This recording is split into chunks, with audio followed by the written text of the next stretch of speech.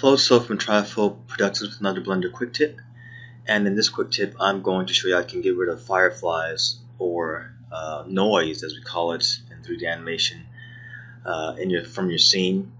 Uh, this happens when you use cycles, and it's uh, an issue that's been happening for a long time. It happens in 2.78 and 2.9, any version of Blender.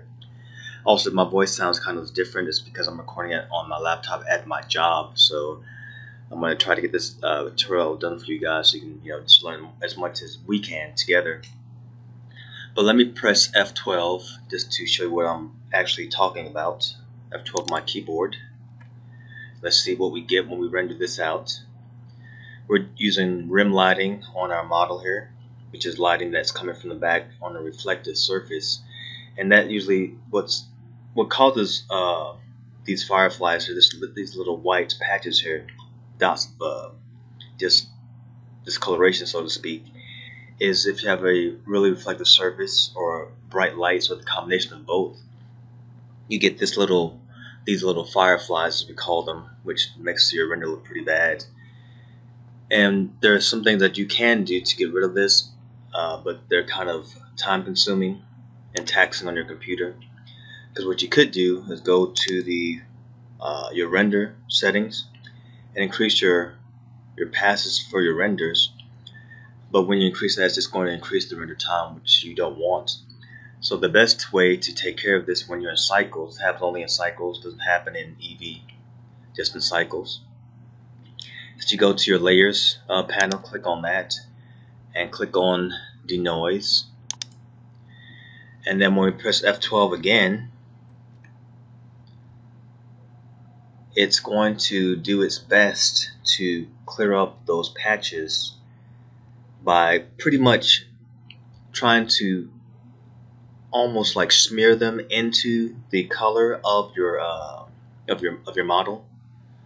Sometimes it doesn't come out looking too good, but sometimes it does. But let's just give this some time to run dry And let's see what we get from uh, using the denoising aspect or tool in Blender and it looks it doesn't look bad. It looks pretty good. We have some blotchiness going on here. But you can actually kind of set the parameters to what you want it to look like or what the end result you would want to have to be. I mean, this isn't too bad. It's better than the, the fireflies that were there before. But it kind of smears it a little bit to kind of smooth it out so get rid of the, the, uh, the, the uh, patches there the, the fireflies and it's the same thing in 2.79 and below. Now the parameters for the denoising are here. You can decrease the strength, the feature strength. Let's let's try to decrease the strength a little bit and see what we get. Because when you play these parameters, you can get different, better results. Let's reduce this a little bit. Let's see what we get. Press F12 again. And it's going to try to calculate again and see what it can do to reduce the fireflies or the, the little spots that appear on our mesh. It also helps when you have a pretty strong uh, graphics card on your um, system. That helps kind of speed it up.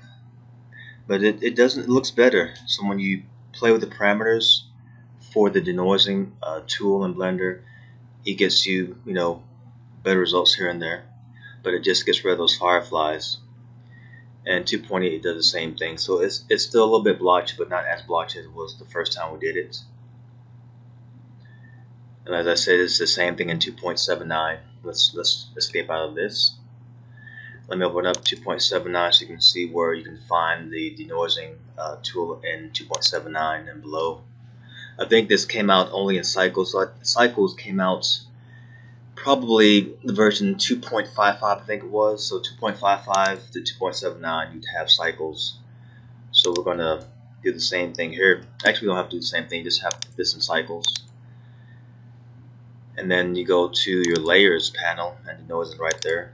Same parameters here you can reduce the strength of it the features. I've tried some of these and I wouldn't really touch any of this until I've used these before these parameters here uh, for diffuse glossy transmission and subsurface scattering. And it gets you some really extreme and kind of strange looking results. So I would just kind of leave this alone leave those as they are and just kind of play with the strength for 2.79 and the same thing for 2.8. But yeah, that's how you can denoise and clear up your uh, meshes in Blender easily without having to increase the samples of your renders. And that's today's uh, Blender quick tip. And I really appreciate you guys who have subscribed to the channel. Those of you who will subscribe in the future. And I hope you guys enjoyed the tutorial, and I'll see you guys on the next one. All right, adios.